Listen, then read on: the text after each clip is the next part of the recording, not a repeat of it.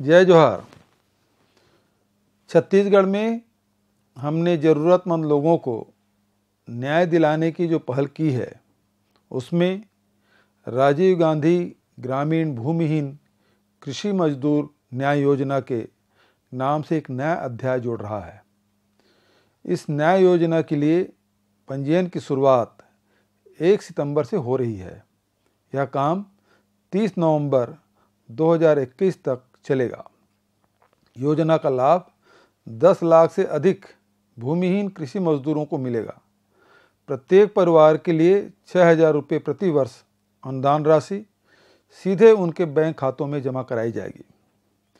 हमारे शीर्ष नेता माननीय श्रीमती सोनिया गांधी जी और राहुल गांधी जी ने हमें यह मंत्र दिया है कि गरीब परिवारों की जेब में किसी भी तरह से धनराशि डाली जाए ताकि ये लोग आर्थिक संकट के दौर में, कर्ज के दुष्चक्र में न फंसें और अपनी ज़रूरतें पूरी करें।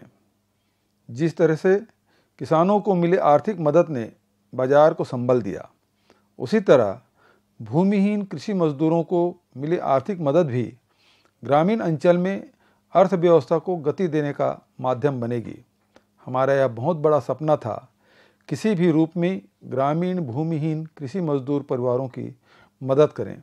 और अब यह सपना पूरा होने का समय आ गया है। मुझे इस बात की बेहद खुशी है कि छत्तीसगढ़ देश का पहला राज्य है जिसने भूमिहीन कृषि मजदूरों के लिए ऐसी योजना लागू की है। मैं कहना चाहता हूँ कि इस तरह हम प्रदेश के सर्वाधिक ज़रूरतमंद परिवारों की मदद कर पाएँगे, क्योंकि बात है अभिमान की। छत्तीसगढ़िया स्वाभिमान की।